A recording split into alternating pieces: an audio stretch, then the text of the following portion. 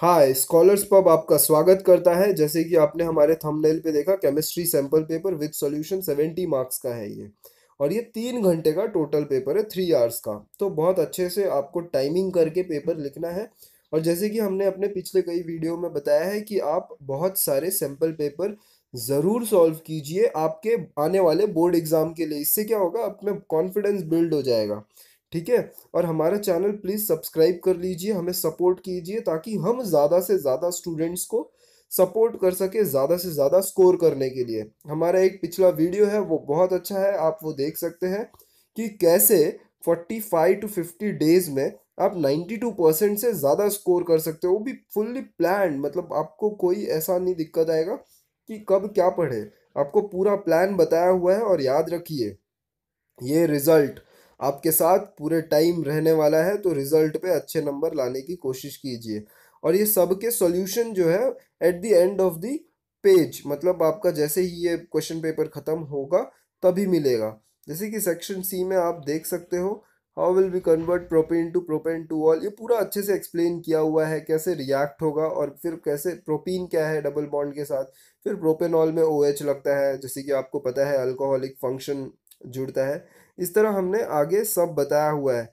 Hall, Heroult, process. देखो, हमने अपने पिछले एक वीडियो में बताया था कि आपको आपके पेपर के लिए कैसे पढ़ना है, ताकि आप बहुत अच्छा स्कोर कर सके। तो उसमें यह था कि आप ज़रूर वो सब्जेक्ट्स करिए जिसमें कि सारे नाम वाले, थेरी, लॉज, डेरिवेशन सब, जैसे कि फिज़िक्स के लिए भी किया था हमने, ठीक है? तो आपको ये नाम वाले बहुत ज़रूर ज़रूर करना है। हेरोल्ड वाला हमने diagram at the end of the video डाला है। आप स्क्रीनशॉट ज़रूर ले लीजिए पूरे क्वेश्चन पेपर का।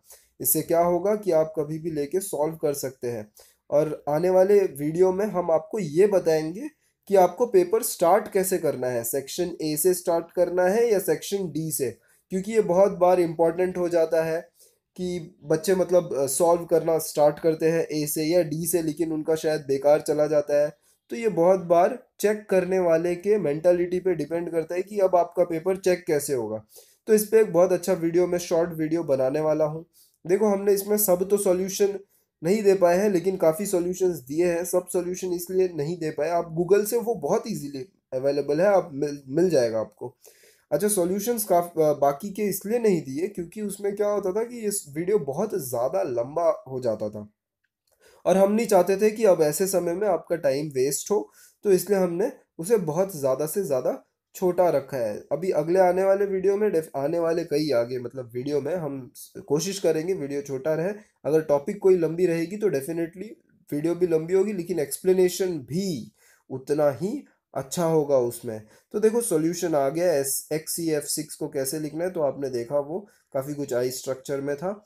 और ये रिएक्शन जैसे कि आप देख सकते हो, ये कंप्लीट रिएक्शन वाला क्वेश्चन का है और ओ ओ बॉन्ड जैसे कि ओ थ्री में क्यू इक्वल होता है ऑक्सीजन का मतलब ओ टू के लिए, क्योंकि दोनों के मॉलिक्यूल बहुत ज़्यादा स्टेबल होते हैं, इसलिए तो सवाल ही नहीं उठता है।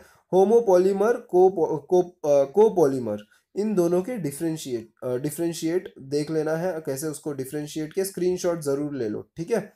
फिर बाद में मेडिसिनल यूज़ दिया है नार्कोटिक्स का वो ड्रग का, फिर ये एरॉल्ड्स का, जैसे कि हमने बताया डायग्राम थैंक यू सब्सक्राइब